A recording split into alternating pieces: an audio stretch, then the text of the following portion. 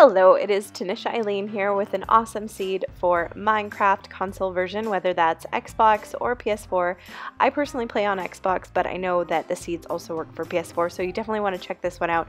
Like the title says, it has 16 villages, and I will showcase them all for you here with the coords, uh, which are also in the description, so you'll want to check that out. So this is actually the same seed uh, that I posted a few months ago, except I chose to reload it with the amplified on and it's actually made it a little bit better. Like a lot of the villages that were on the original like non-amplified version they were tinier and then when I chose the amplified they kind of grew. So that's pretty sweet.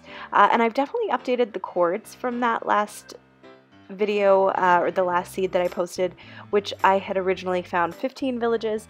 So this one has 16 and all the coords are in the description.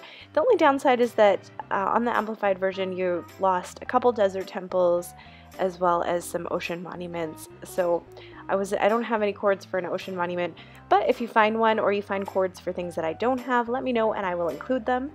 But yeah, this seed is again pretty sweet, so you definitely want to check it out. I think it's perfect to be in time for Christmas.